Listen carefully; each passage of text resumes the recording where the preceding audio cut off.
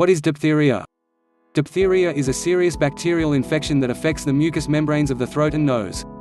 Although it spreads easily from one person to another, diphtheria can be prevented through the use of vaccines. Please don't forget to share, comment, like and subscribe. Thank you. What causes diphtheria? A type of bacteria called Corynebacterium diphtheriae causes diphtheria.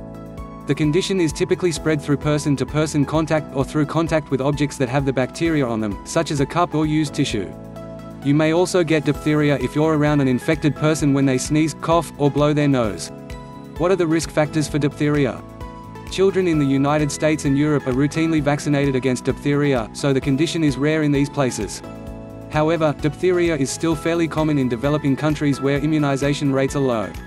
In these countries, children under age 5 and people over age 60 are particularly at risk of getting diphtheria. People are also at an increased risk of contracting diphtheria if they aren't up to date on their vaccinations visit a country that doesn't provide immunizations have an immune system disorder, such as AIDS live in unsanitary or crowded conditions the most visible and common symptom of diphtheria is a thick gray coating on the throat and tonsils. Other common symptoms include a fever chills swollen glands in the neck a loud, barking cough a sore throat bluish skin drooling a general feeling of uneasiness or discomfort How is diphtheria treated? Diphtheria is a serious condition, so your doctor will want to treat you quickly and aggressively. The first step of treatment is an antitoxin injection. This is used to counteract the toxin produced by the bacteria. Make sure to tell your doctor if you suspect you might be allergic to the antitoxin. They may be able to give you small doses of the antitoxin and gradually build up to higher amounts. Your doctor will also prescribe antibiotics, such as erythromycin or penicillin, to help clear up the infection.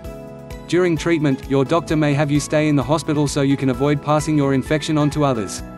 They may also prescribe antibiotics for those close to you. How is diphtheria prevented? Diphtheria is preventable with the use of antibiotics and vaccines. The vaccine for diphtheria is called DTaP. It's usually given in a single shot along with vaccines for pertussis and tetanus.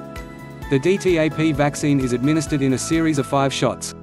It's given to children at the following ages trusted source. 2 months 4 months 6 months 15 to 18 months 4 to 6 years In rare cases, a child might have an allergic reaction to the vaccine. This can result in seizures or hives, which will later go away.